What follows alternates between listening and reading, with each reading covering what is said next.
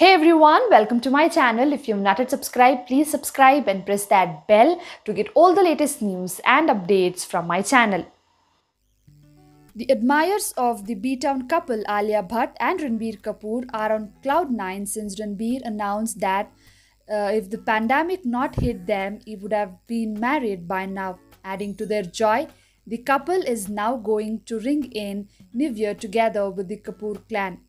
As per the reports, the two are going for a family holiday to Ranthambore, where a resort has also been booked for the family.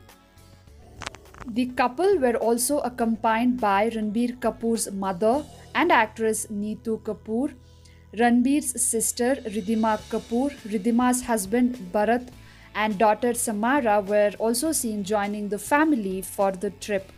Alia's sister Shaheen Bhatt is also with the families.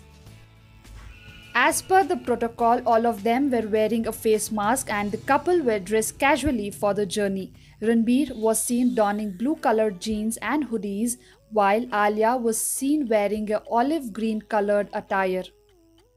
Alia Bhatt and Ranbir Kapoor frequently accompany each other to their family get togethers. Alia was Ranbir's plus one for the Kapoor Christmas brunch, while the actor joined the Bhatts for the Christmas festivities recently.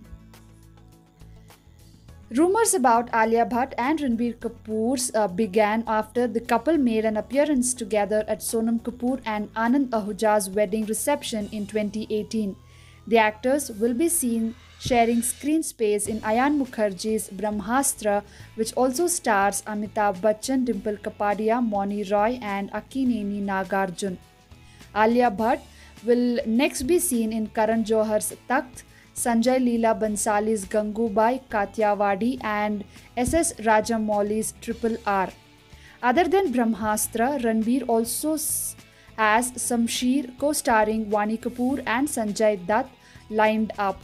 He will reportedly be seen in Luv Ranjan's untitled film with Shraddha Kapoor.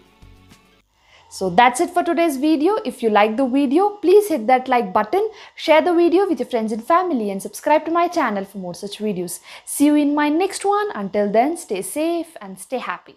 Bye guys.